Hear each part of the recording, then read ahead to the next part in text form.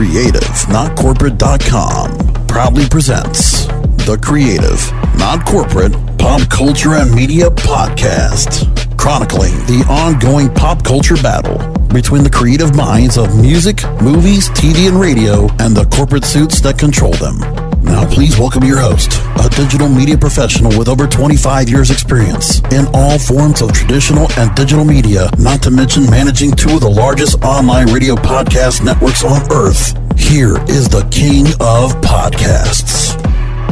Black Panther is roaring past a half a billion dollars in the box office. As we get started on this week's Creative Not Corporate podcast, thanks for being here. Thanks for joining us. Got a guest for you tonight. A little bit later on, uh, yours truly will be speaking with University of Florida communications professor Andrew Selepak, who is also director of the graduate program in social media. We're going to go ahead and talk about so much when it comes to social media, students and what they're taking away from all the pop culture that's going on now in their music, their movies, or TV. What are they binging? What are they watching? What are they listening to? And where the social media and how corporate and creative are utilizing it and taking advantage of it or not taking advantage of it. And how big a deal is social media becoming towards all the content that we're consuming. That's all going to come up in that interview in a few moments. I want to just go through some quick headlines. I want to get started and talk about Black Panther. I know everybody's talked about it. I'm pretty sure many of you watched it over the weekend. So let's go to the latest news about Black Panther before I go and give you my review of it as of recording, as of what was oh, as of press time. That's how they always call it, right? Disney Marvel's Black Panther is poised to bound across the $500 million worldwide mark nine days after its release. Current gross with international box office $491.1 million. Domestically, 200, oh, sorry, $213 million international. So put that together, was that what? $280 million domestic? Just blew away everything else. And I mean, nine days, week and a half.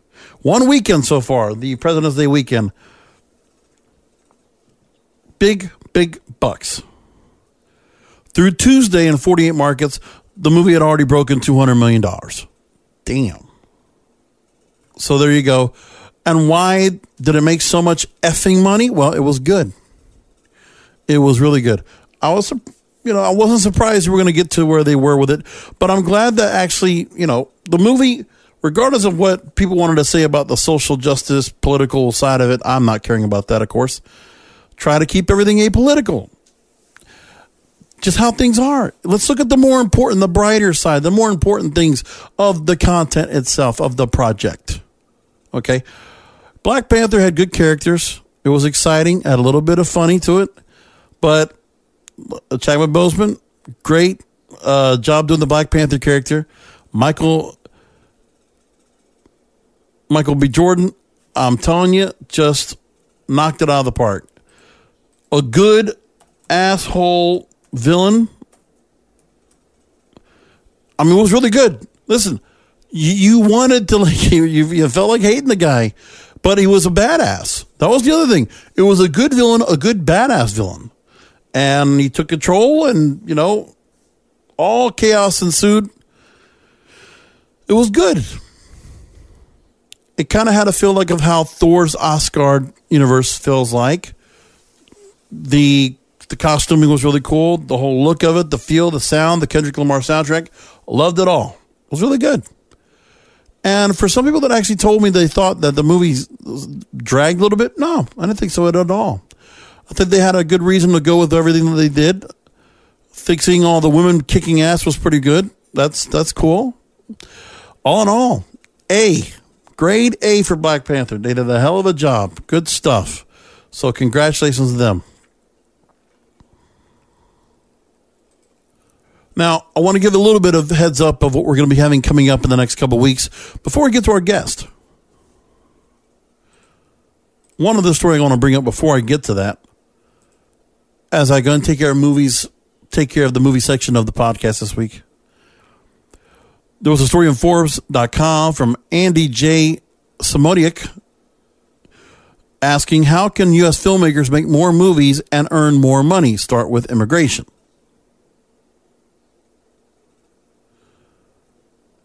And the idea is to kind of go and work more towards expanding the global market. And he says this a U.S. filmmaker, with the help of immigration, tax, and financial advisors, can find a foreign investor already working in the entertainment or allied industry abroad to help him or her set up a U.S. company. The new company is created as a film finance and production company with film distribution rights in the investor's home country and elsewhere. For investors uh, saying a minimum of $350 million U.S., the investor's foreign company becomes 100% owner of the U.S. company. No, we don't need to go through this, okay? this whole thing right here, I just thought was funny. Like, uh, you cannot just go the traditional route, make good creative movies. You feel like, oh, you got to, you know, take you some loophole and go overseas with your company to get a bankroll, to get bankroll a project. Or to make projects uh, at a lower cost. And there's also the idea of uh, financing independent films. And the same idea using foreign source investor funding. The investor puts up, say, $250,000, which goes to the filmmaker's company for the project. Each project should be a separate company. The filmmaker uses the funds to finalize the script. The script is the key. Then the filmmaker and the investor seek out a production budget based on the script, the filmmaker's credentials, the foreign investor's credentials, and support between the script being finalized, pre-production, principal production, and post-production, and the going ongoing distribution, each film may safely take up to seven years, which aligns nicely with an L1, L1 visa maximum time frame. The foreign distribution component ensures that this is not just a one film production company, but an ongoing business. Fees for immigration, tax, and financial advice will probably take up most of the balances investors' $350,000 investment.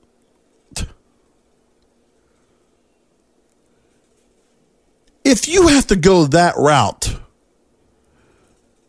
because you're trying to go the cheap way to make a movie or make a project, wow. What's wrong with the investors not coming into this country and putting money in? I just thought this story was because of the fact that you are not accepting the right projects. You go for the safe bets. You are afraid of taking the risks of going after a movie that could go really big and banking. Instead, you're conglomerating bill movie companies. You're putting them together and you're just putting out big movies with big reputations.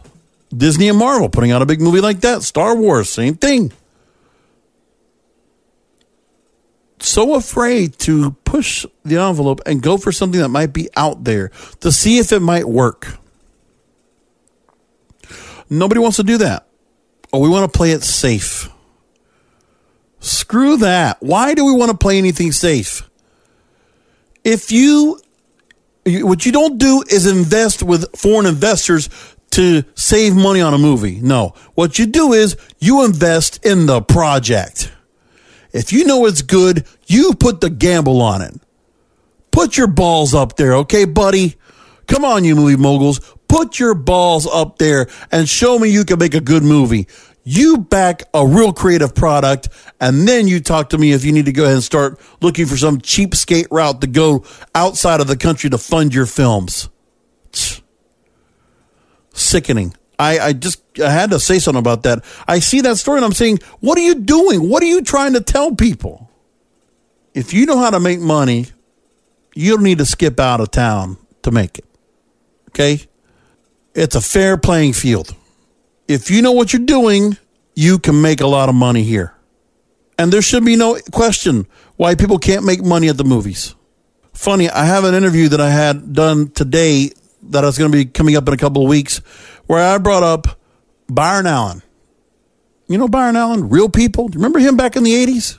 Early, early 80s? You know that guy right now? He is funding himself independent movies and he's just bankrolling them. And this is where after he's been doing comedy.tv, recipe.tv, all these side cable channels that just run some of the same programming that he bulked together and put together, you know, over what a 10 year period.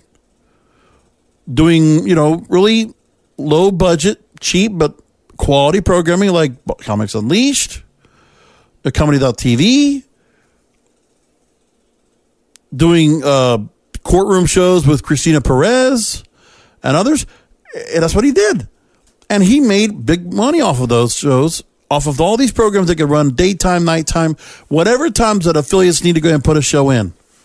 And by doing that, that guy this year bankrolled Hostiles, which is getting critical acclaim, and the Hurricane Heist, which is coming up March 9th. Full release to theaters. Byron Allen, Entertainment Studios, entrepreneur. I don't think I've ever read anything about that guy having to go out and go out and look for foreign investors. No. Uh uh-uh. uh Just keep that in mind. And by the films this week, like I said, Black Panther, number one across the board, $242.2 million as of the weekend. Peter Rabbit, 23.4. Fifty Shades Freed was third with 19.4. Jumanji, 10 million. Still, that thing's making $10 million. Fourth place. 15, 17 to Paris, 8.9 million, rounding out the top five. Sixth, Greatest Showman. Seventh, Early Man. Maze Runner, eighth. Winchester, ninth. The Post, 10th. So, coming up a little later on, we're going to talk about the top five of the Billboard Hot 100 all staying in place. Another big week for God's Plan and Drake. Quincy Jones takes back his takes back his words about pop music and Taylor Swift. We'll preview Game Night and Annihilation coming to the movies this week. And we'll give a little preview of some guests we have coming up down the line here on the podcast. And why 99% of all music streaming comes from just 10% of available songs. And one of the story for the National Choir, music industry sex perverts unmasked in Hollywood. It's all coming up. But first, it's time to go ahead and play back that guest interview I had with University of Florida communications professor Andrew Selepak here on the Creative Not Corporate podcast.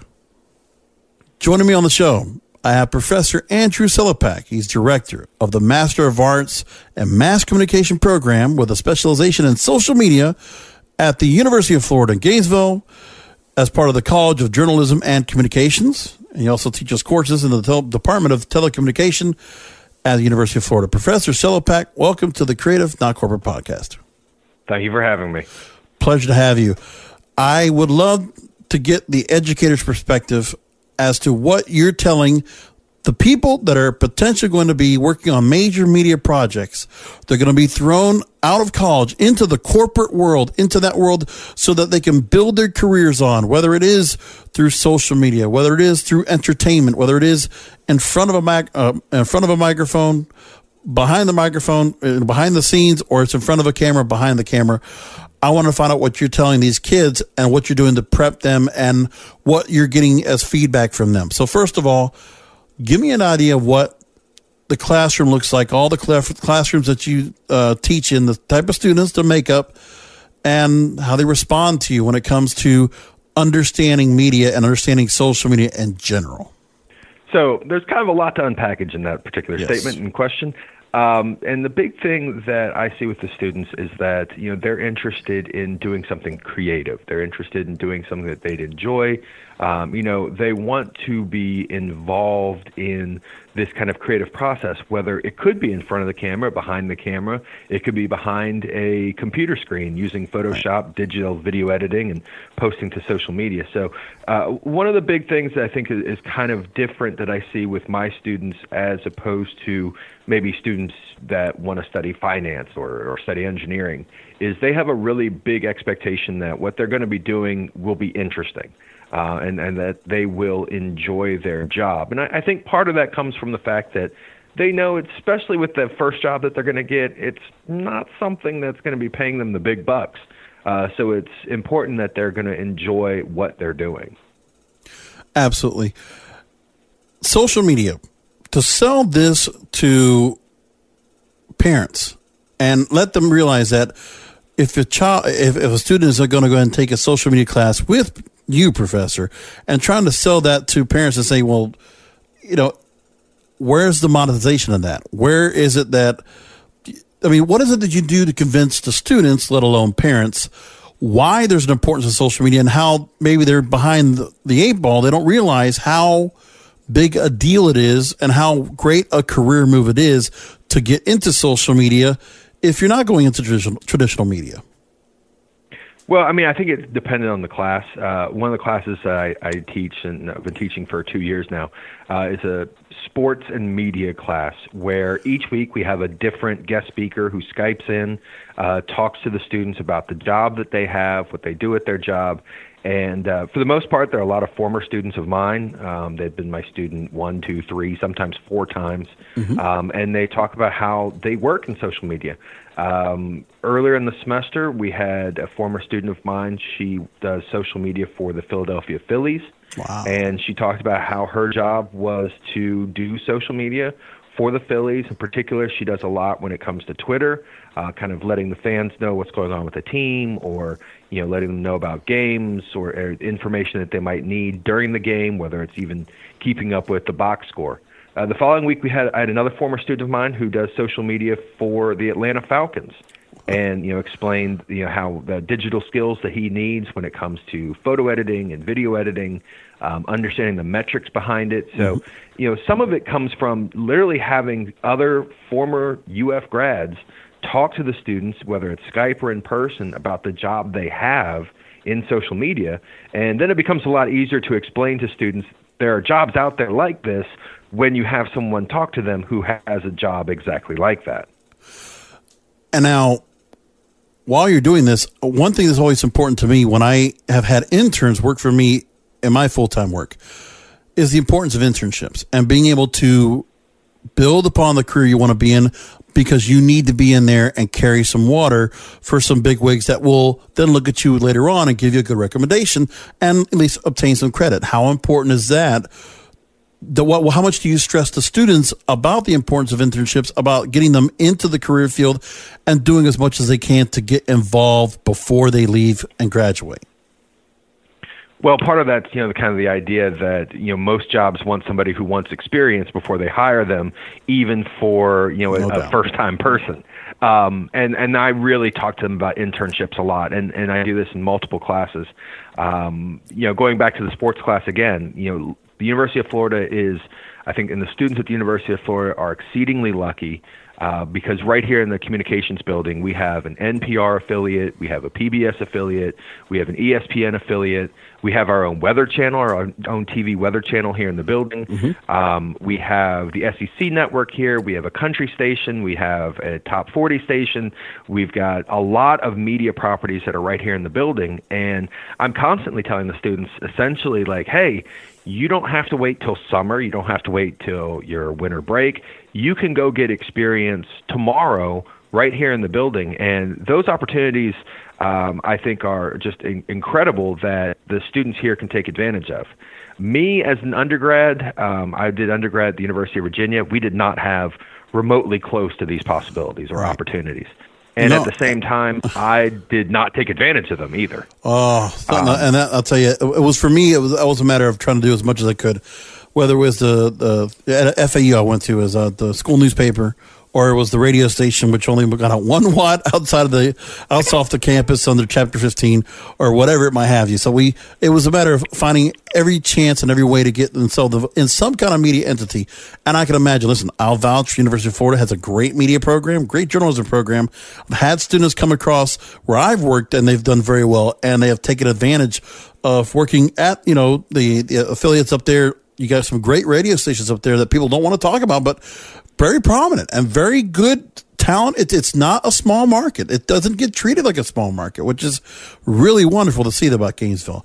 Um, so and you know, and that's the thing. Like they they have the opportunities to literally do this stuff because you have you know people who work full time at the stations and they're the the news directors and the sports directors, but the content's created by the students, which is exceedingly valuable. Kind of going with what you were saying, when I was an undergrad, I did not take advantage of those opportunities. Right. I it wasn't until really my fifth year of college that I got an actual internship working in radio. Uh, prior to that, I, my assumption was, well, I'm going to graduate, I'm going to walk across the stage, and I'm just going to be handed a job.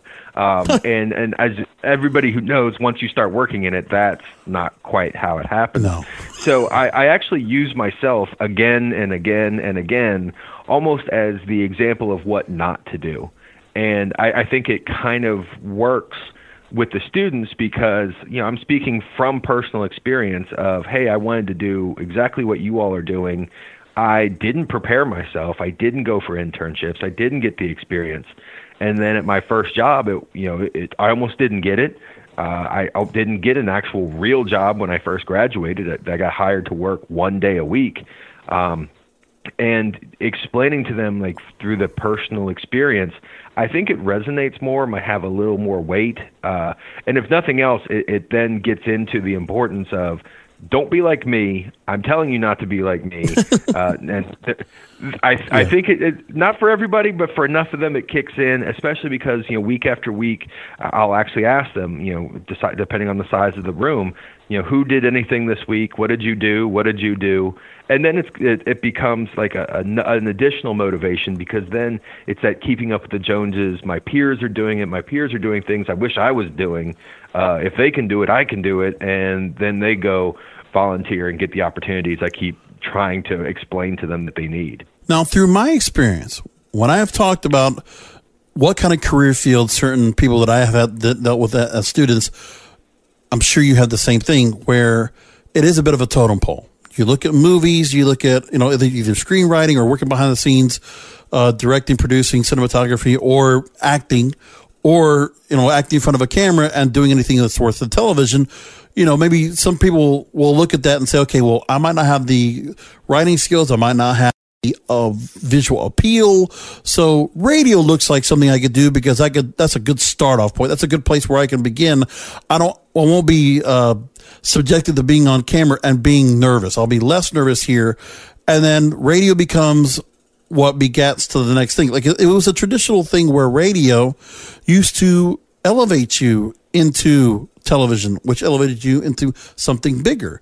Is that something that still stands true today? I mean, do you feel like the the students you deal with now they want to do radio first and then they can be encouraged to do something more with video and so on well, one of the things that, that we do uh, with one of my classes is we start by having them write radio stories.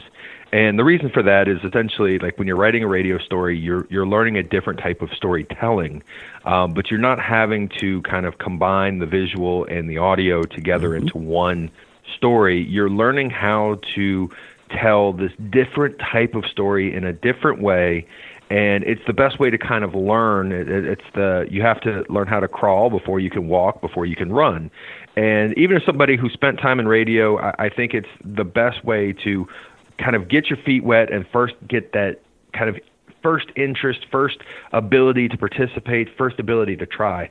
And even um, you know our telecom telecom news degree is set up that way. The, the yeah. students who begin the degree, the very first class they have is to basically put six hours each week in at our uh, NPR affiliate here in the building, mm-hmm. and that's where they get the real world experience of you're going to do stories that are going to go out and be heard by an audience that you know what they are sitting around all day mistake or if you say something wrong, they're going to call in and tell you.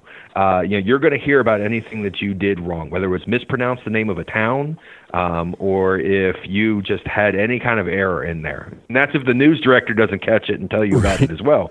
Um, and you know, it's it's one of those things where I think it's a great place to to get your feet wet, to you know, to get your bearings, uh, and then to learn how to just tell someone's story. Where you know, we we spend plenty of time telling our own stories. You know, from I tell my students from day one, we learned how to uh, communicate on an interpersonal level. Right. We were born, we cried, we cried and said, "It's you know bright out here. I don't like it. Uh, it's cold out here, I don't like it. So from day one, we've learned how to tell our own story, but to tell someone else's story and to be interesting is a skill that needs to be developed. Now, here's the thing the style of story is what's important to me, too, is because in radio, at least in my, and also in certain areas, there's a refined way of storytelling, which is what I believe NPR is. All due respect, it's, it's very cultured, very uh, upper. You have to be well educated. It has to be, you know, of a, a certain grade level.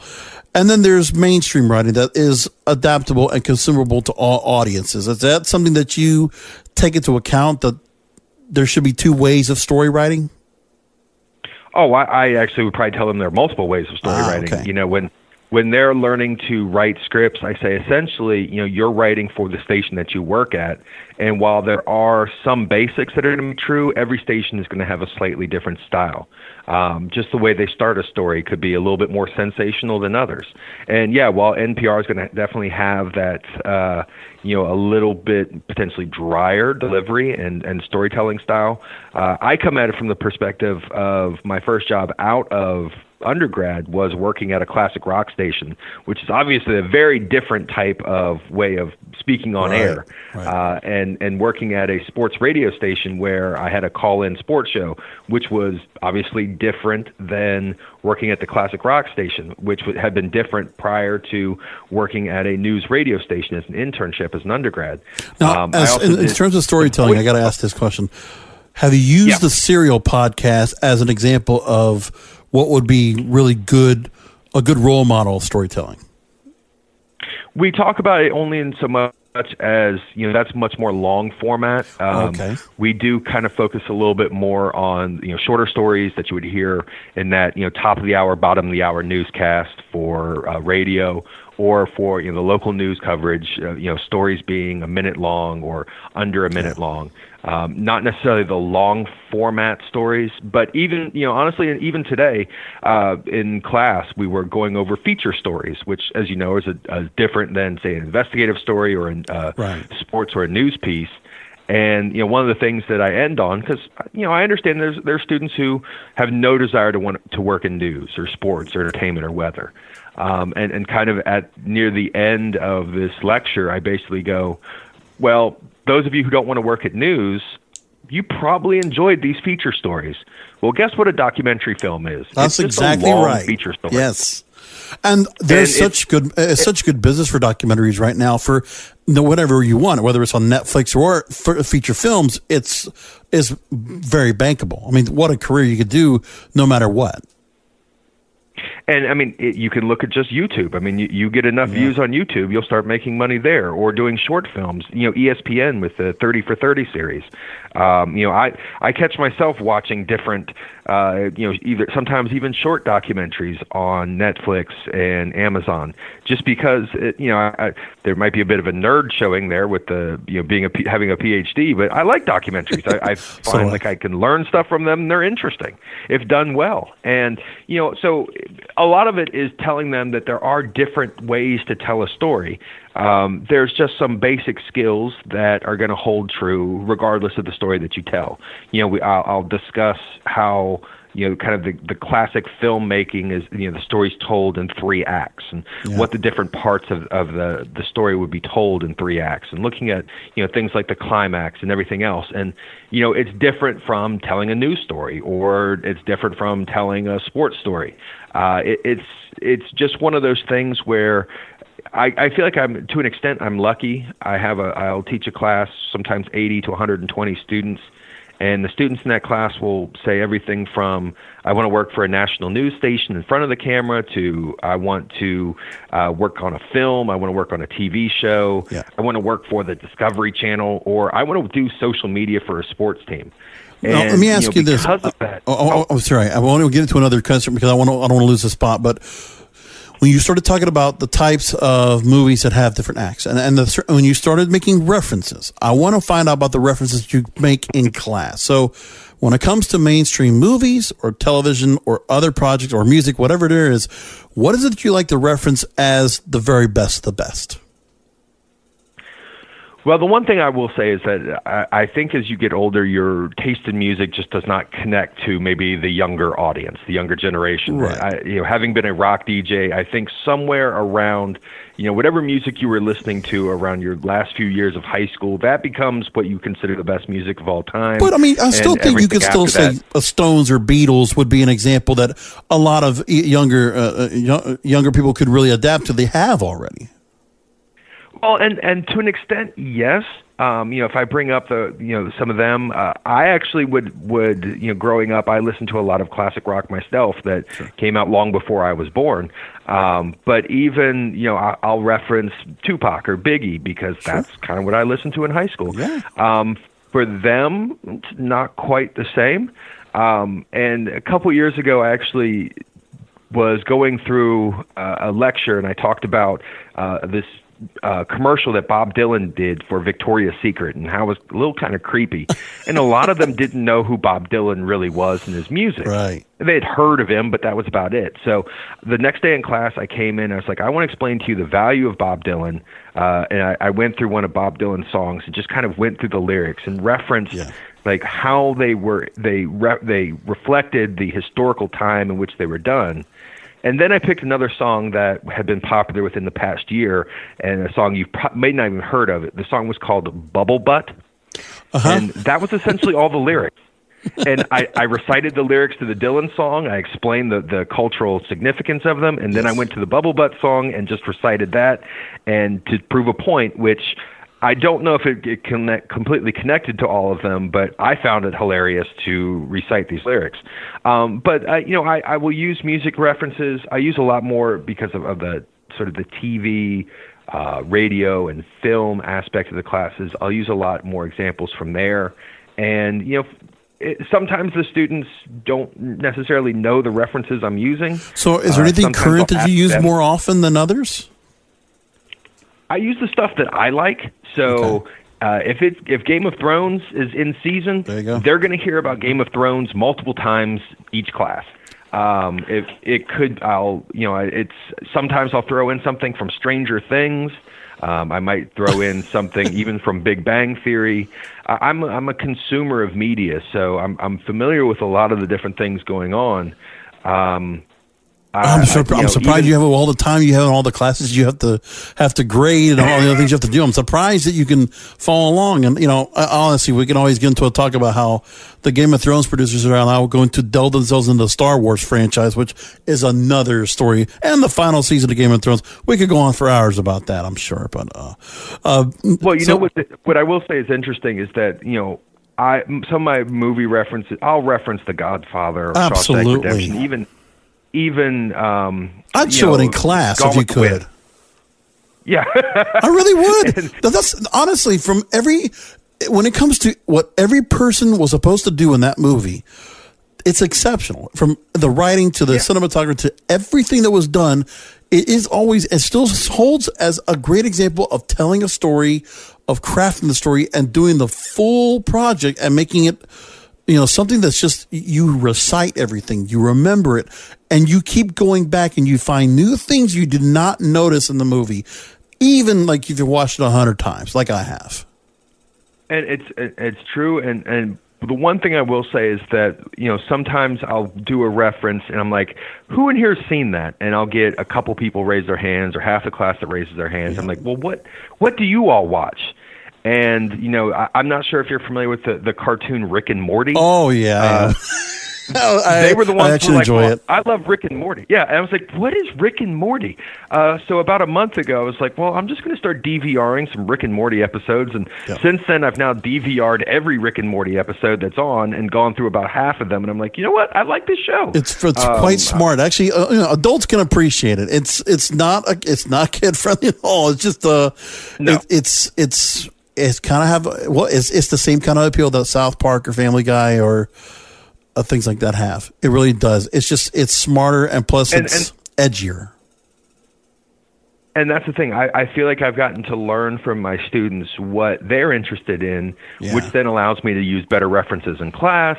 Um, I'm still not going to give up. I'll tell them I'm like, you know, who's who's seen. Uh, you know, we'll, we'll talk about how you have novelists whose books then become uh, movies, And I said, "We, you know, who knows who wrote Shawshank Redemption and The Green Mile?" And they're like, "Nope." I'm like, "It's Stephen King." And they're like, "Well, we haven't seen those." I'm like, "You haven't seen Shawshank Redemption?" And they're like, "No." I'm like, "Well, that's why you're not fr- we're not friends."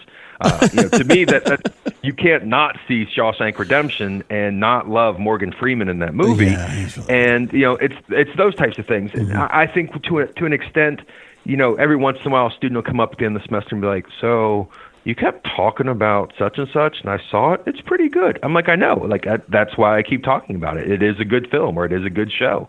Uh, and and that's I think one of the things is if if I wasn't actually learning from them as well in terms of what they dig so that maybe my references could could be more relatable. I think it would be harder to teach. Um, I, I, think it would probably be less enjoyable for me as well. But here's the question now: What is it that it, when it comes down to it? Do you feel like you're you're do you feel enriched or do you feel like you're still getting quite a bit of entertainment with what projects are out now? Like what cable and streaming and movies and music is bringing to us now? Are you able to you know put yourself into the kids shoes and say uh, you know like you said like a rick and morty are there other things besides that that you really enjoy that uh, is, is, is a, almost can stand the same level as what you've watched in the past or listened to in the past you know, when it comes to TV shows, I, I, because I, I, think back to some of the shows of you know just some of the great television of the '80s. Of you course. think about, um, you know, MASH. Like I could still turn on an episode of MASH. And granted, MASH was on. You can watch MASH anywhere. Very, it's on like seven times a day on cable if you're looking for it. True. Seriously, it, it, was on some of my very, very early years. Yeah. But I, I feel as I know I, I sat there through the, the season finale of MASH, and I'll even bring it up in class. Uh, you know, a show like Cheers, which I think was great to me, was. doesn't necessarily necessarily hold up as well as maybe MASH does. Um, the Wonder Years, I think, like anything that kind of had that period piece aspect to yeah. it, just holds up really well because it doesn't seem like it's a it's forced references um, that you might get on some of the other ones. But you know, there's the the type of shows in terms of the jokes or the violence mm-hmm. or some of the other things. I think just makes TV very different. Anything that's on HBO is nothing that could have been on the network TVs in the 80s and 90s you know, if you think about all the controversies with uh, Married with Children, that seems so tame now compared to what you would have on HBO. Now, um, uh, and you know, I love like I, I got to get to a certain point here. Uh, forgive me. I this yeah. now is a great point I got to bring to you because there were certain things like Married with Children that you could never get away with today on television or, or any other media right now. And this is this will be a, a touchy question because a lot of people are very. It's a I like this podcast to be very apolitical. I'm I am Switzerland. I am neutral. I do not bring my political opinions on any programming, and that's on any programming that I do. And the thing is, for the radio entities that I work for at their command, we put a disclaimer out there. You want to say your piece, you have the freedom of speech to say it. I, you know, I'm Voltaire here. Okay, I defend the right for you to say what you think and what you feel, and the same for the students. My question is, is because something like the 2016 presidential election has truly just thrown everything into a in, into a spin. However you think about it, uh, it's a matter of how are the students consuming media? Are the political constructs are they having a political bias that's getting into play that's playing a role as to what they're watching or when they're putting anything out creatively are they able to keep their politics out of it or do you think that's something that is acceptable and should be encouraged? Well, actually, what I mean, and I'm kind of in. A, I feel as though I'm in a similar role to you when I'm in the classroom. Yes. You know, I, I will tell them, uh, I'm not here for you to vote Republican or Democrat. I just want you to know why you're voting one way or the other. Yeah. Um, and even when it comes to when it comes to topics of religion, I'm not saying you got to believe, you don't have to believe. I tell them I'm Irish Catholic. That's where my mother's from. right. Uh, I have Irish citizenship, so I'm, I'm oh, I'll just throw that out there. Um, but it's not, you know, it's not my role to try to convince them one way or the other. Uh, I had instructors in the past who let their political or religious beliefs come out in ways that I just found offensive. Um, I, not at the University of Florida, but it, it's right. happened. Um, and you know, it was like, no, I, I don't want to be that type of person. When it comes to the students, you know, if we're having a discussion, if I'm in the ethic, if I'm teaching ethics, and we're having a discussion that starts to get a little too political um, or a little too cultural in terms of different topics. There's sometimes where I'm just like, okay, Zach Morris timeout. We're done. Uh, we're going to move on from this topic because Zach Morris it's headed down a rabbit hole that's not good. Yeah. Uh, and like two of them will laugh because they'll get the reference, and the rest yeah. of them are like, I don't know what he means. Oh, yeah. that's so, uh, so it, it's yeah. one of those things. I'm not trying, like when it comes to the, you know religion and politics, I'm not trying to tell them what to do or believe, regardless of the topic. You know, again, it's hey, I want you to vote so long as when you go in there, you know why you're pulling the lever or right, you know, making the X next to whose name. No, yeah, uh, and also but, for me, it's like also have your own. You know, don't have anybody read it to you or have to tell you what it's all about. I mean, it, of course, it's good that you're there as a as you know as a, as a fi- authority figure that can say this is what you should know, but then also uh, add to the fact that they should also read for themselves. Have your opinion. Don't have somebody have to go ahead and lay on theirs to you and follow along. It should be yours. It should be your decision, and no one should really have to, you know, do anything to sway that opinion. It should just be yours. You choose to think how you like. Well, it, I mean, there are exceptions. Like I'll tell them, The Godfather is one of the best movies of all time, and if they disagree, they're wrong. Um, but you know, exactly. other than things like that, where I, I, I make sure they're they're fully aware of of the the kind of the cultural media that I think is is important. But I mean, kind of like what you're saying. That you know, if you look at, uh, I, think about Blazing Saddles. Blazing Saddles would never get made no. in 2018. no.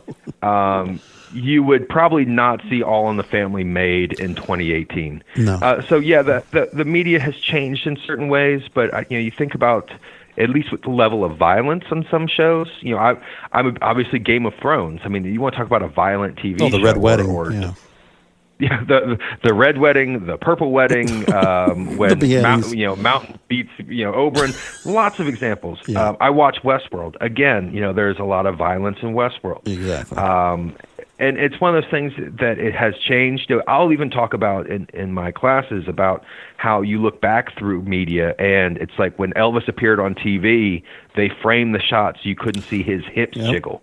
Um, or I Love Lucy, where Lucy and Ricky couldn't be in the same bed together. Exactly. Yeah. And you know, it's kind of like how media has changed, and part of that's because we all of our basically everyone's frame of reference to an extent seems to begin the day we're born and nothing exists prior to that.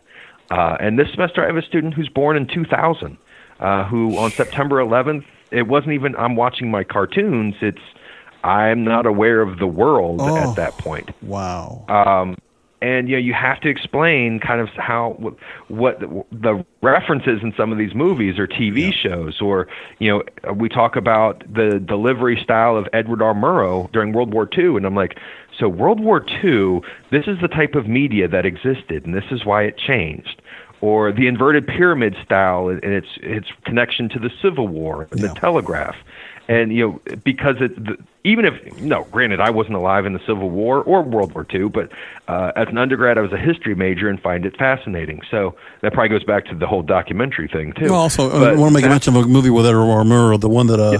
clooney made of good night and good luck was quite good just as a reference if they ever want to throw the students at that, it's not a bad way to kind of take a look at how things were back then anyway so thought i'd make a reference to that. True and, and you know it's it's just one of those things where you try to give them information and make it relevant as best as possible. Mm-hmm. and and there's obviously different ways of doing it. Some could be using cultural references. Some you know kind of using the credibility of somebody else bringing them in to explain it. Um, sometimes it's using your own personal stories of this is what happened to me and this is why you should do this. It, it really comes down to just you know nobody learns the same way nobody you know nobody comes to the same conclusion the same way and it's just trying to find different ways to kind of lead everybody to an understanding that you can never know too much no. Uh, you know, the Oscar Wilde, you can be too overeducated or overdressed, essentially. Now, I do have to talk about politics about one place radio. because there totally is. Okay, that's a place I'll start crapping on all day long. You worked in Clear Channel. You worked in a cluster in uh, where? Which uh, area did you work in again uh, for Clear Channel? Charlottesville, Central Virginia. Central okay, Virginia. University of Virginia. So you obviously probably had the same experience I had in a cluster when it came to all these different radio stations. Of course, around 2001 to 2003, you were there. It's around the time where you know they had acquired all these different stations, probably I, am guessing Clear Channel had just acquired some of those stations that you had worked for a couple of years previous. And is that right? Yeah. It, yeah. Yeah. And so it's around that time, I'm guessing, where things were, you know, micromanaging, cuts, you know, some of the formats start changing around a little bit, and we just get a little more automated as we go. So, what was it like being in there during that period at Clear Channel and seeing what they were doing with all of those stations and, and how management was uh, handling things at the time? Well, what was interesting is when I I had applied for a job at the oldie station of all things, and I mm-hmm. spoke to the program director of the oldie station. He was like, "Well, we've got some things going on, so why don't like get, call me back next week?" And I call back the following week. Well, we've still got some things going on. Call me back next week. Call back next week. Talk to the uh, ops manager. Talk to the ops manager. We're flipping formats on the oldie station to a classic rock station. The person you're talking to is no longer going to be working with us. We have another person. Oh. I'll get you in touch with them. Um, so yeah, I mean, my very first kind of introduction to Clear Channel was I interviewed with a person whose station was about to be flipped, and they were losing their job. Oh my god. Um, and while I was there, you know, we it was one of those things where I I want to say I don't remember the exact numbers, but there was a point when I was working at Clear Channel. I think they owned about 1,600 radio stations yes. across the country and their biggest rival was Infinity Radio, Correct. and they CBS. owned like 250. Yeah, right. and it was like that. Their biggest rival was like an eighth the size. I mean, Clear Channel was just a behemoth across the country, and you know every everything was market tested, and we could only play this song or that song. Uh, and you know, then it, everything was kind of automated. We had a morning show out of North Carolina. Um, then we had a um, daytime part that uh, the person was in um, Vermont. then our afternoon tracking. drive yeah, it was voice tracking. Their afternoon drive was local, but then our oh. um, evening was out, was voice tracked out of Richmond. Oh, and, and how many how many songs overnight. on that playlist there?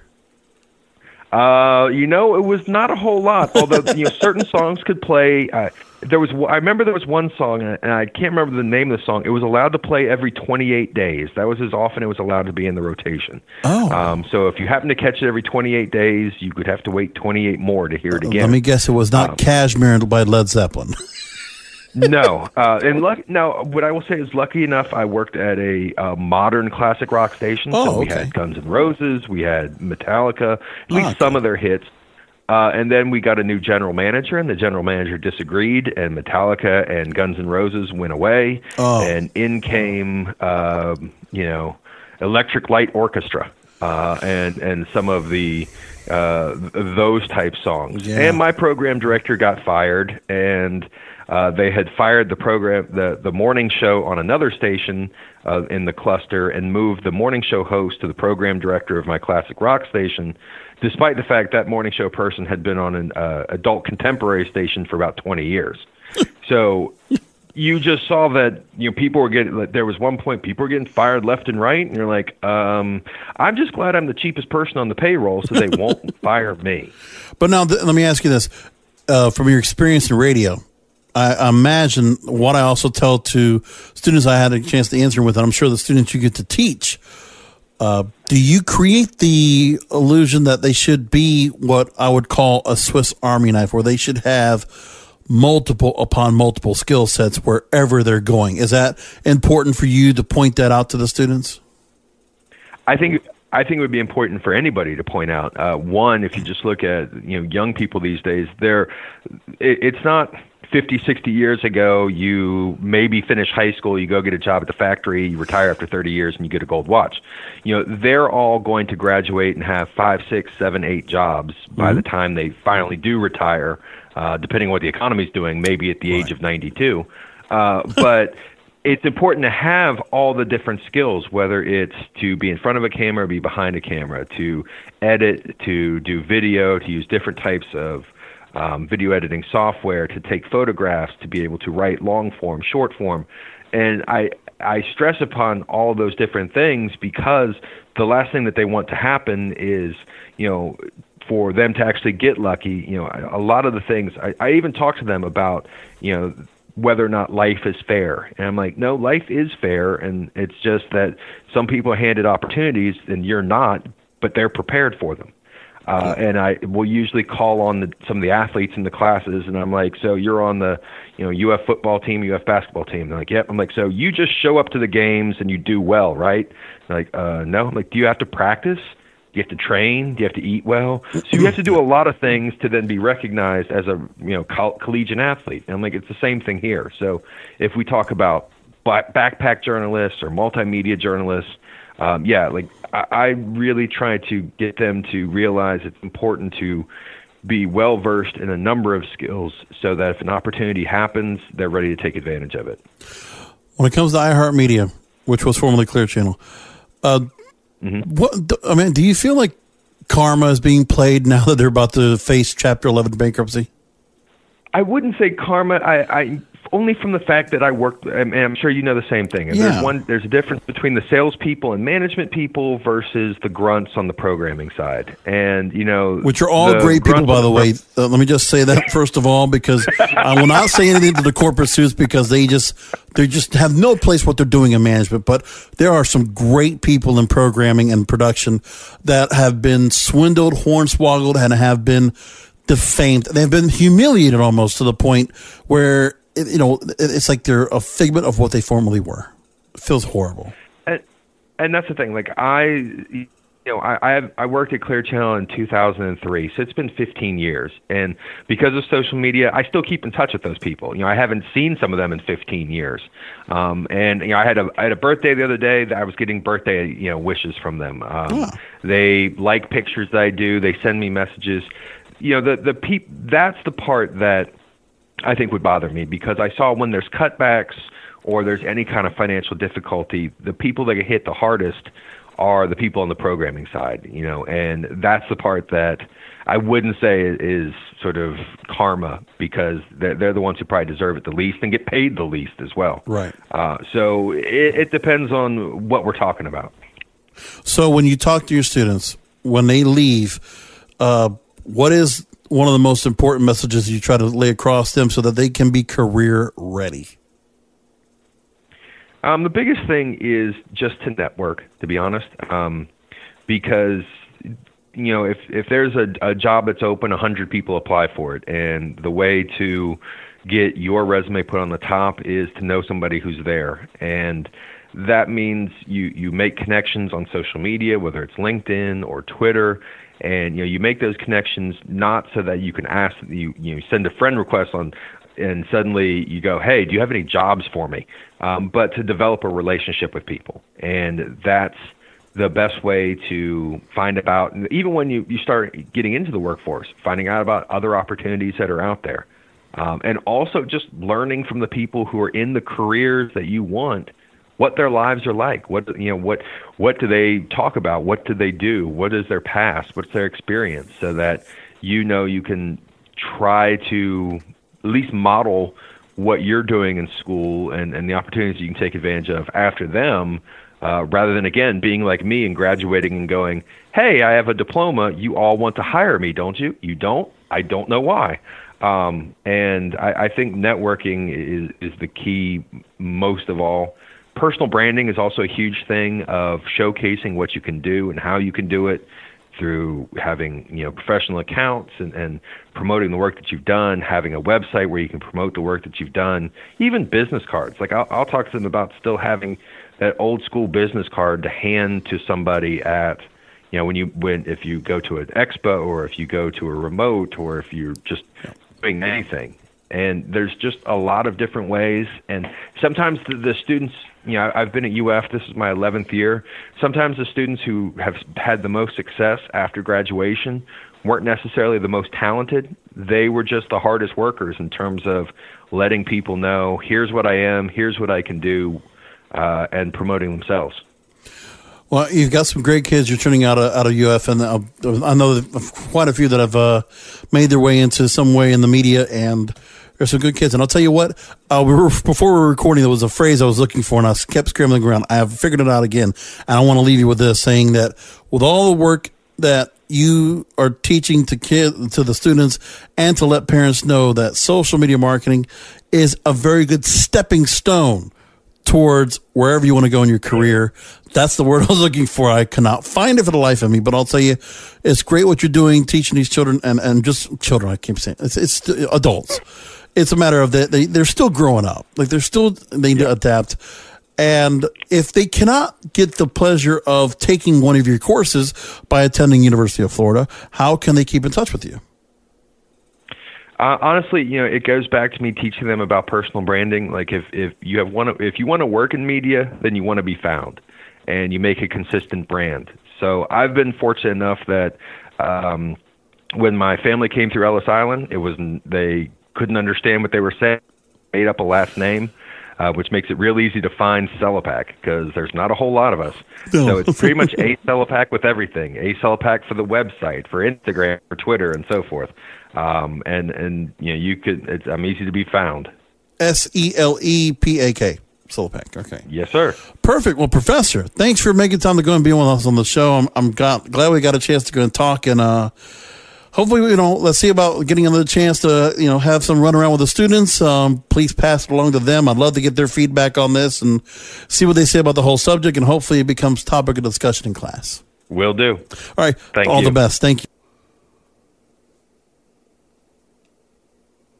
So if I had to go and pick movies I want to go and watch this weekend, game night, Jason Bateman, Rachel McAdams end up with more than they bargained for when a night of fun turns deadly which is the movie I'm going to go see, and I will go ahead and review that one this weekend.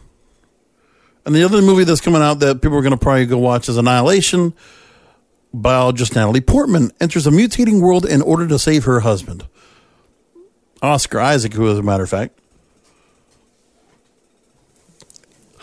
Oh, the movie looks interesting, looks scary to me, so that was the one thing I didn't want to go see. And you know, figuring out like it's kind of sci-fi, other world kind of stuff. I'm like, ugh little much. But that's what we got. And now that's like I said, game night looks like the funny one to me. And I forget if there's anything else that's coming out that looks interesting.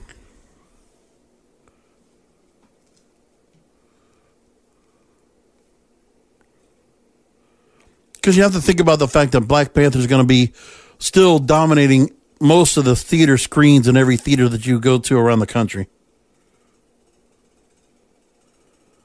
And there's not going to be anything that's going to go ahead and beat Black Panther in the box office to become number one.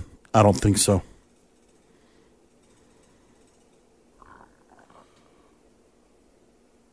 So, in a few weeks here on the show, we do have a couple interviews we are setting up. I wanted to give you a little heads up of those. You can look forward to those coming up pretty soon. We have blockbuster cinematographer Luc Montpellier who'll be joining us with a fantastic conversation. We talked a lot about when it comes to all the things that you have to deal with, when it comes to the uh, talent, when it comes to the crew on the set, and the kind of hardships, the obstacles they had to go through. There's so much he tells in that story, which is really amazing, cool, and interesting. Also have Darren Campo, who is a former show executive, and what he's done in the past you know, he was senior vice president of programming strategy of Food Network and Cooking Channel. Worked for senior vice president of programming, production, and development for truTV. He was there for the transition from Court TV to truTV, and also worked at CBS. He's also written a series of um, best-selling science fiction books, and he's currently an adjunct professor at the NYU Stern School of Business. We'll talk to him very soon on the program. We'll have him all scheduled and set up to go. And then leading up to my next story, Blade Runner 2049. It's among one of the movies which might win Oscars for audio editing and audio mixing.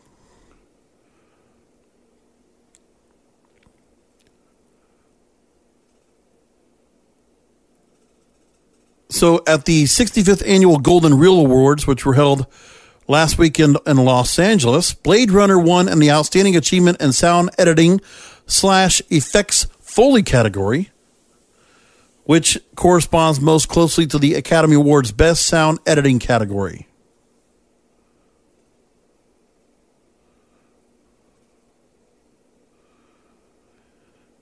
And we're going to talk to the ones that won that best achievement and sound editing. We're going to talk to the guys that did the audio mixing for Blade Runner 2049 on a really interesting interview. We'll talk to Oscar winning re recording sound mixer Doug Hemphill, who worked on movies like Master Commander, Far Side of the World, The Last of the Mohicans, and Oscar nominated sound mixer Ron Bartlett. You may remember some of his work in The Fifth Element and Deepwater Horizon, and they both work together in a group called Formosa Group. We're going to talk about them as well. We got them coming up on the program. So that's all coming up here on the show. Guests galore. We'll keep trying and see how it goes. We'll see if all of you like it. And and by all means, please criticize me if you think I'm not that good an interviewer, if you think I suck, if you think I'm not asking good questions, you let me know.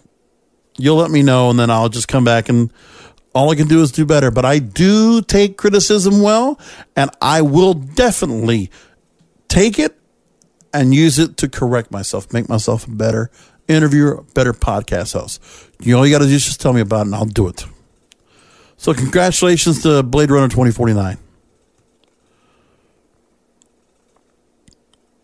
Nothing big on TV this week. I just know a couple shows are coming back. Saw Gotham's coming back on TV. I'm looking forward to that.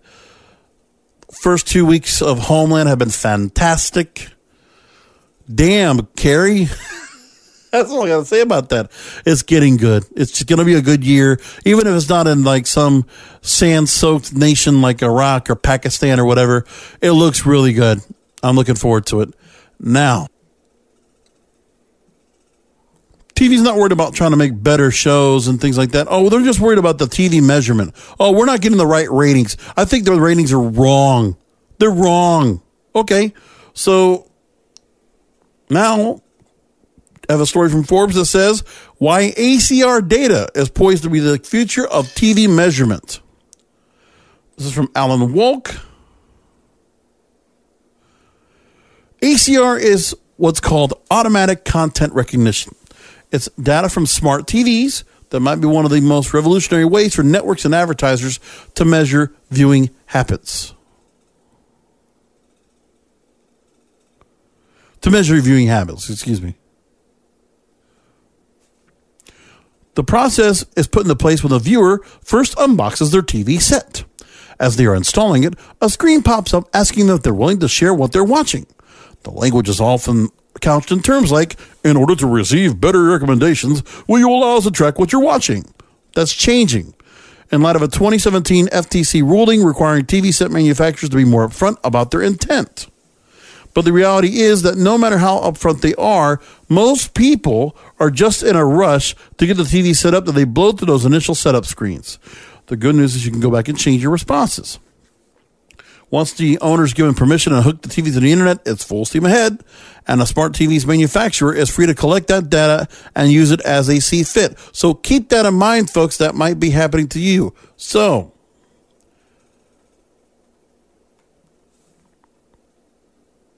the value will be it's the only way to get glass level measurement on what people are watching. This is what the corporate people care about the numbers, what they can sell, instead of what they can do to actually create numbers. They're worried about trying to make sure they're getting every number they possibly can because they can't pull the numbers. That's what it comes down to. So whether they're watching Hulu on a Roku, ABC doing using a rooftop antenna, or an on-demand show from Comcast via set-top box, or a show that they're watching via DirecTV Now on an Xbox, it will be counted. The value of ACR data will continue to grow, become a $5 billion business by 2021. Who needs Nielsen? Because we're desperate for numbers. We have to have reports, numbers, reports. We're scared because we're going to lose our audience. We have to find some way to get the numbers set up so that we don't get stuck. That's what it comes down to. That's what they're doing. Just pointing out the facts. That's why they're doing what they're doing. Now on the music. Quincy Jones. He put an apology for some outlandish comments that he made during some recent interviews regarding the entertainment industry. In a GQ interview, which we talked about a few weeks ago, he mentioned Taylor Swift's songwriting, Ray Charles's drug use, Michael Jackson stealing songs, to name just a few topics. and then other things that were going on. Oh, he also called the legendary rock band the Beatles no playing motherfuckers. That's what he said. That was in another interview. Then there was a family intervention from his daughters about his comments, leading to a public apology via Twitter. And here's what he said. Okay. A couple weekends ago, my six daughters, whom I'm beyond proud of, took me aside to do sample surprise family intervention because of some silly things I've said in two recent interviews, and I have learned my lesson. Let me tell you, I'm so grateful for my daughters because da da da da da. When you've been fortunate enough to have lived such a long and crazy life, and you recently stopped drinking three years ago, certain details about specific events which do not paint the full picture of my intentions nor experiences come flooding back all at once. And even at 85 years old, it's apparent that word vomit and bad mouthing is inexcusable. I'm sorry to whom any words of mine were offensive, and especially sorry to my friends who are still here with me and to those who aren't. There you go. Billboard Hot 100.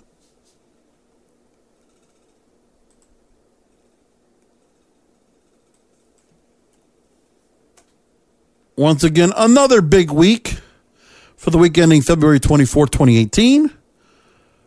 Looking at the top 10, Stir Fry Amigos dropped two points from 8 to 10. All the Stars, Kendrick Lamar and SZA from the Black Panther soundtrack went up from 31 to 9. Dua Lipa's New Rules went down from 6 to 8. 7 is meant to be. Bebe Rexha and Florida Georgia Line. Look Alive, another featured Drake song with BlocBoy JB, comes all the way up to number 6. Everything he does, Drake just turns the gold. Rockstar remains at 5. Havana remains at 4. Finesse stays at 3. Perfect stays at 2. God's Plan, fourth week, number 1. And if you look at the numbers of streams on Spotify alone, the third week of God's plan, it pulled what? Like, what was it? The top before was like maybe 22 million streams. And God's plan got like 45 million streams on Spotify. Like, good Lord. There's no stopping God's plan. It's just going to stay up there. Nothing's going to happen. That's just it. It also reached the mainstream hip hop R&B chart in the fastest time possible of any record on that chart ever. In what? 2 weeks. Incredible. Went from number what? 4 to number 1, just like that. But it goes right to number 1 God's plan a few weeks ago and it's just going to stay there. Amazing. 4 weeks on the chart, biggest gain in airplane, biggest gain in airplay play and gains in performance. Congratulations. Music Alley. There was on here about music streaming is booming, so what happens next? And I was wondering what these people in the industry were saying about themselves. You had a bunch of people that are from the UK talking about different music and house working out, saying the role of artists and streaming's impact on them was the first topic of for discussion. And from Jeremy Pritchard, a musician from the British band Everything Everything, he quoted as saying, Every time I put an album out, because we still work in that method, the long playing album, every time we do, every two, two and a half years, the playing field has altered. So the idea is, and this is for those of you out there looking to make records, the truncation of the album cycle for one. The rollout, Pritchard says, regardless of how long it is prior to the album, in week two, week three, you're struggling to keep it in people's minds. So when Arcade Fire had put out eight singles before the album even dropped, and they weren't even able to buck the trend, the album may now be a culmination of a campaign, in other words. So this is from an executive, a record executive named Ann Jeniskins. She says that many of our clients release more often and smaller products in in in more singles, EPs, and every once in a while an album. Artists have to release more frequently. And then another panelist says that there's an enormous amount of power that the streaming services hold. The big question that we need to address soon, especially with companies like Spotify becoming more like labels, at what point do they start promoting their own artists? That's a good question.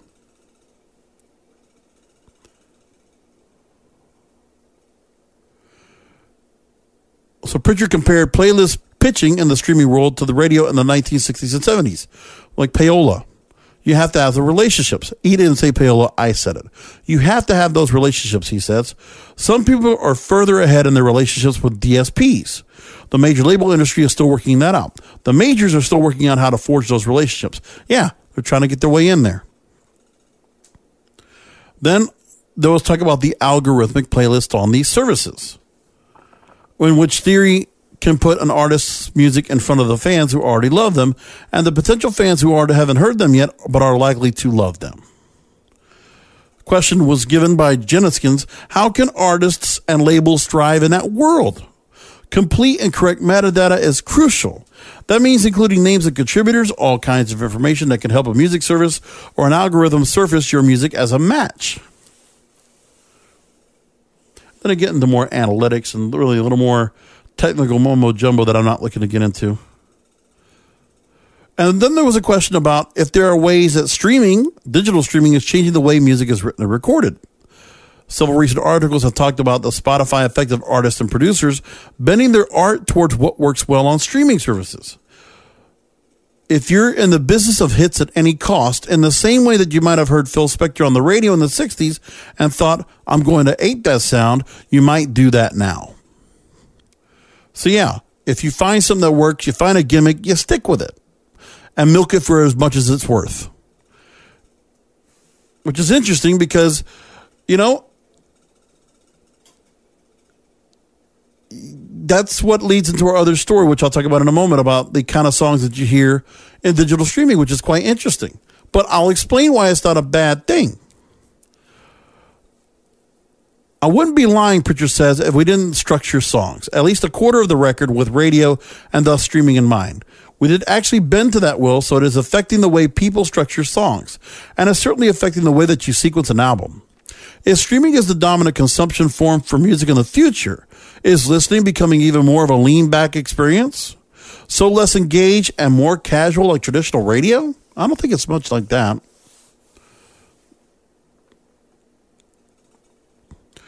And Pritchard agrees that people listen to a playlist passively rather than individually choosing track by track what they'll listen to. So it's not totally black and white, but it's moving in that direction. The mass user has always been a lean back type person. That's why radio has been so successful, uh, a panelist says. Does this bring risks for artists, though making it harder for them to build core fans? Or do people just become fans on playlists? Well, that's what I think it is. For myself, if you're looking to know what to like, this is why I understand where they're coming from here, but this is what it comes down to there are factors outside the music streaming that determine what songs get into the charts. See, I don't listen to the playlists on Spotify that are just kind of created. Okay. Some of them I do. There are some that are created because they offer new music. That's what I'm importantly trying to listen to. So if I want to listen to reggaeton, hip hop, pop music, new stuff, that's what I have. So I have several lists that I go through, a playlist that I'll go listen to on a regular basis. There is uh, Baila Reggaeton, which is all Spanish reggaeton. That's the Spanish, basically the hits in Spanish right now. Fuego, which is like a mix of like kind of a Spanglish turban kind of format, right? So you have some Spanish remixes of certain English songs and some reggaeton mixed into that as well. And then I put on Hot Rhythmic, which is the idea of a CHR rhythmic station if they were keeping up with the times. Otherwise, the reason I went to Spotify in the first place was to listen to the charts. Because Spotify is the best place to launch the charts. I can listen to the entire Billboard Hot 100 right there on Spotify, updated every week by Billboard. That's what made me buy them not only for the 10.99 a month originally, but now buying them for $99 a year. I went ahead and bought the full damn year. I'm premium for life because that Billboard Hot 100 is great. Not only that, there are people that actually construct the charts in the UK. The official chart, which is the same thing as Billboard in the UK, charts the songs that the BBC plays, BBC Radio 1 plays in the UK, which usually is a great mix of music out there. And given the fact that I really enjoy all this British reggae type rap that's coming out there from all these British uh, rappers and, and, and stars out there, that are, it's just a real great mix. Plus, so many great American songs that are out there. And you just hear the top 40 of them. It's like, wow, diverse. And the funniest part is that I watched the chart and I look at it. Those are the songs you're playing in the UK. Billboard? No. Which one of these days I'm going to when there's a when there's a short week and we don't have a whole lot going on in the show and I'm actually extra extra time, I'm going to go ahead and continue to berate the radio industry and go after the radio industry week after week and hope to bring on a guest that will help defend my uh, this argument that I have each and every week as to why they are not paying attention to music streaming and trying to stay antiquated in their old ways and embrace the measurement of digital streaming and embrace what Billboard is doing once again. What they've always done. Billboard was the trendsetter of what music was popular in every genre because they do the best job of it. All I got to say is your gauge of how out of touch radio is, just look at the list that America Top 40 uses every week. Now, I know people don't probably listen to that show that much. It's still out there. Okay. It is a nearly 50 year institution. And for at least,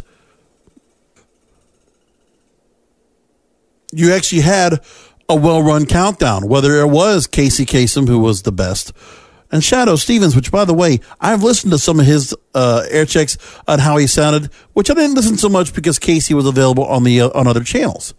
But Shadoe Stevens was pretty good.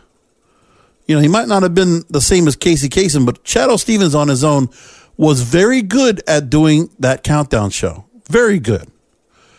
He did not disappoint people by doing that show.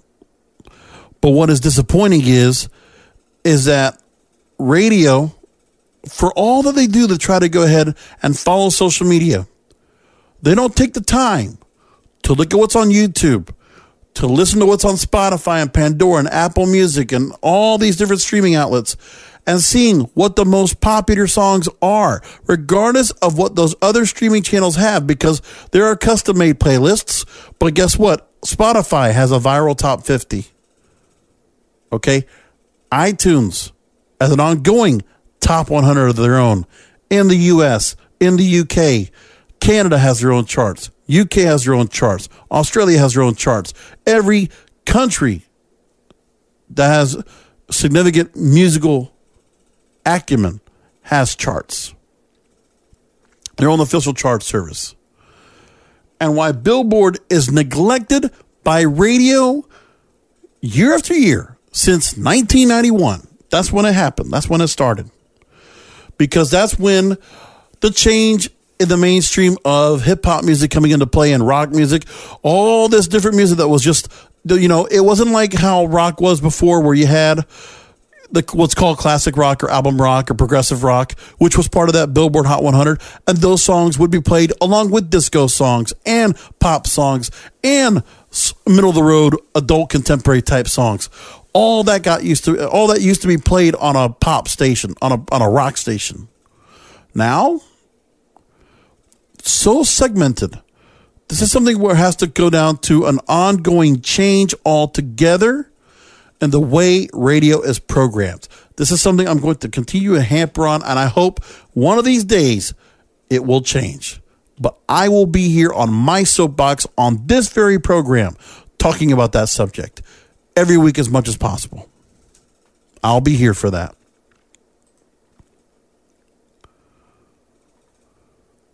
Interesting little subject. I had to bring this up. NationalEnquirer.com. I used to read National Enquirer. Before TMZ got really popular, I got really big into National Enquirer. I used to buy those magazines, you know, every week. Make sure I got the first ones on Thursdays, which were available at Walmart, and I was always at it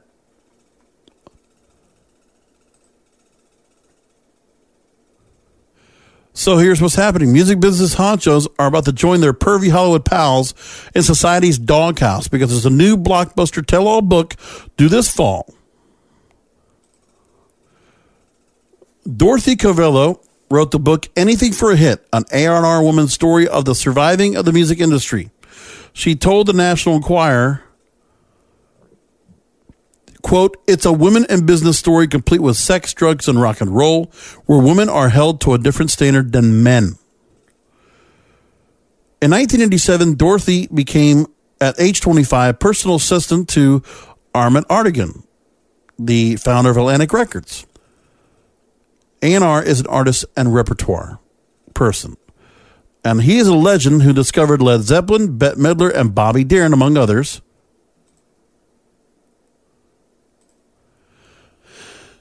She said it was a fantastic opportunity, but soon she experienced the horrors women would suffer in a music world populated by creeps such as Phil Spector. She said, quote, I was a number two person in Ertegun's office, but I wasn't prepared for the music business's boys club, she claimed. In 1988, on a trip to Allentown, Pennsylvania, with two VPs and an A&R executive, Ahmet and I were standing by the bar when he put his hand between my legs, grabbing my panties, trying to pull them off. Dorothy said she then he then worked his hands up my shirt so fast I had to fight him off. Humiliated and disgusted, Dorothy complained to label management who told her she was free to leave. Shockingly, Dorothy claimed things only got worse after she was promoted to become the first A&R executive, female A&R executive in the label's history. She curiously kept standing up for herself and kept getting smacked down by music industry's frat boys. Quote, whenever I complained about sexual harassment to the president or chairman of a company, I was fired. She said, quote, I was never offered a settlement or given a severance package. In one case, the head of a company made me apologize to my abuser. Whenever she worked, Dorothy said predators were on the prowl. The music business, like the Catholic Church, she says, moves its abusers around from label to label, she charged. To say all women have experienced sexual harassment isn't enough. We must come forward and name our abusers. Hey, don't knock the National Choir. How many times do they get do they uh, get sued these days? Not too much. If that's true, and the music industry is here for a rude awakening of sexual harassment claims, oh boy, I can only imagine what the old boys club is like these days. So be careful. That's a shame. You know, there's I don't bring it up that much, but you know that was one thing that was going on before this podcast came out about all the sexual harassment claims and all these executives, the Weinstein's of the world, Russell Simmons, Charlie Walken, all these executives that had all this power and all the power over everything creative and corporate and being able to shoot down projects and you know being abusive with their power and abusive of what they were able to do with their power is sickening and it's disgusting. You know listen if you are able to bring in women that are willing to do things or men to do things at their own bidding and they feel like hey you know i don't care. You know i'll do whatever it takes to get ahead well, listen, if it's consensual, that's one thing. But we're hearing too many stories where it's not that way.